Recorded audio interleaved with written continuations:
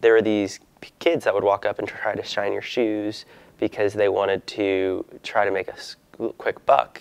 If they were able to start shining your shoes, they'd ask for change.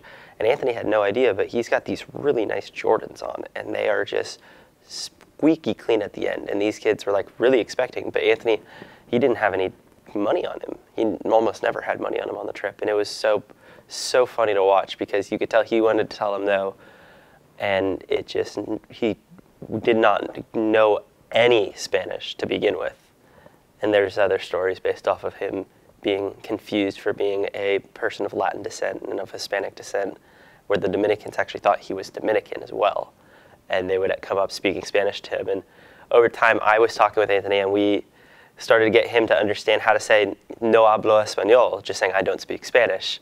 So, and he would quickly, anytime somebody come up and started talking Spanish, no hablo español, and he quickly would try to say that as fast as he could, just to try to get them to keep away. It was really funny.